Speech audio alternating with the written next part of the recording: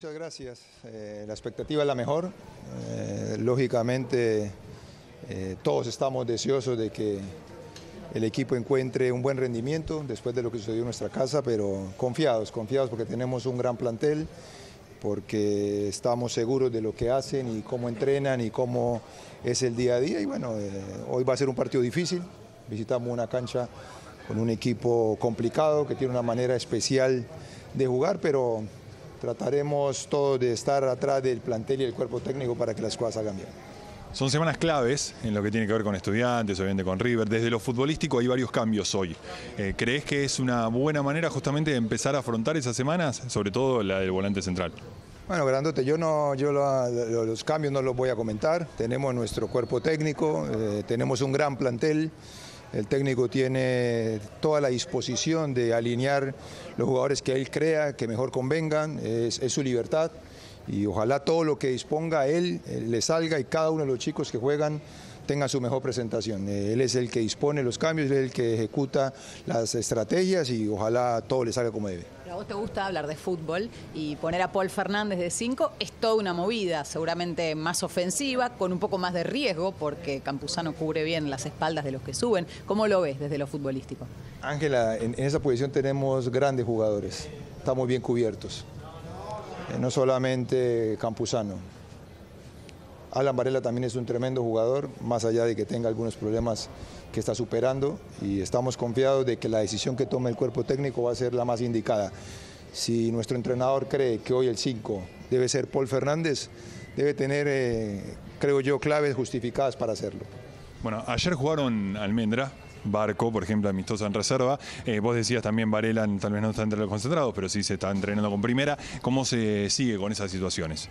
Emiliano, eh, estamos muy contentos. Nosotros queremos mucho a nuestros jugadores. Lo de Almendra, lo de Agustín ha sido doloroso para nosotros. Ustedes recuerdan muy bien que estuvo seis, siete meses que no se entrenó, que lo acompañamos, lo invitamos a que, a que se recuperara, que el torneo anterior fue, fue un tremendísimo jugador para nosotros.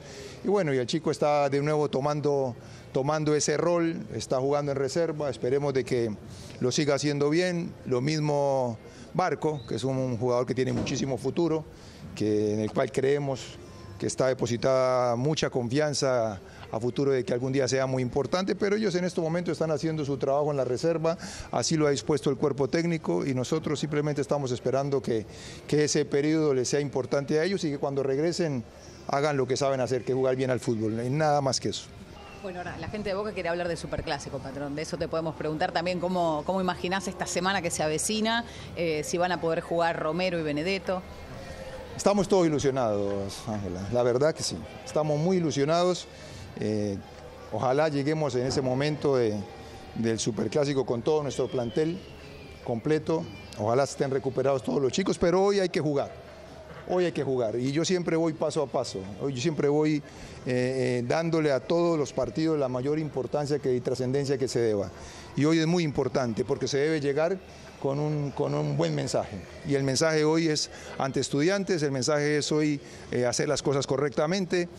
Se puede tener un mal partido, se puede tener un mal partido y no, fue, no es el final del mundo, como lo quieren hacer creer. Es que uno escucha tantas cosas durante toda la semana que de verdad eh, siente, siente como la mala intención de en muchas ocasiones. Todo, todo lo que se hace es poco valorado y cuando no hay una cosa positiva es el momento de atacar algo que realmente está muy bien. Yo sigo diciendo, estamos tranquilos, nuestro cuerpo técnico creo yo tiene un gran plantel, nuestros jugadores están dispuestos a entregarlo todo por nuestro club.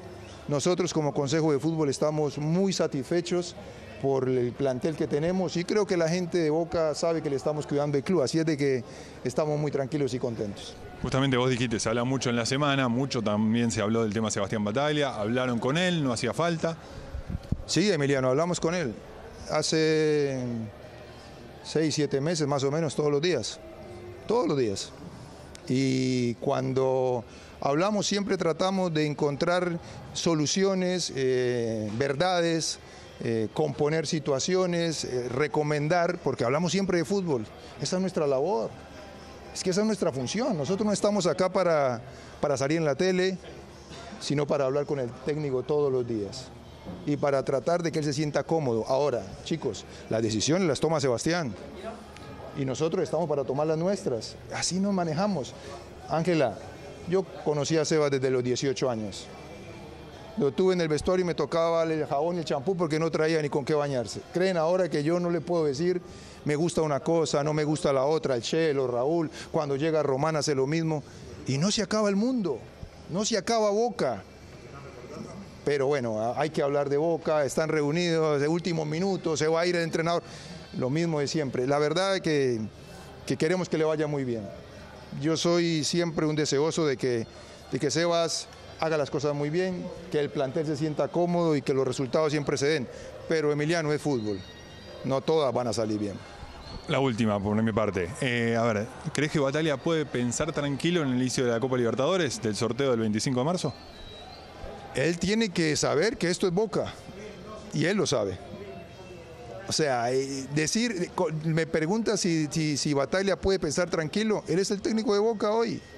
Él tiene que encontrar la tranquilidad en su función. Si los que estamos alrededor confiamos en él. El hincha de Boca confía en él, está feliz con Bataglia.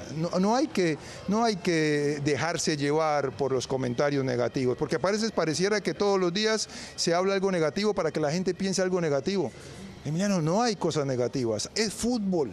Y cuando hay preocupaciones por el fútbol, y cuando los resultados no se dan, es fútbol. Y bueno, y cuando hay que decir las cosas, hay que decirlas, para eso estamos. Gracias, a ustedes, muy amables.